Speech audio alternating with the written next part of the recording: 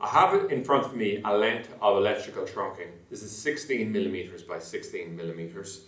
Um, the basic uh, points to note on it is it comes in a 3 meter length and on the back of it here we have this tape which we, when we um, peel it off it means that it's self-adhesive we can actually fix it directly onto a wall.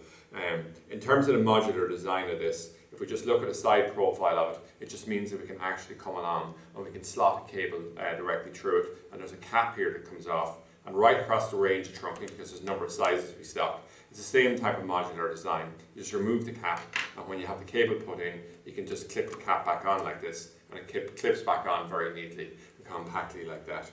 Um, with the 16 by 16 millimeter, because it's a very popular one uh, size, we have a wide range of uh, accessories that come with it for doing 90 degree bends, um, etc., end caps, uh, joiners, T junctions, etc. Um, the full range of the uh, the trunking is found on the electrical section inside of freetv.ie.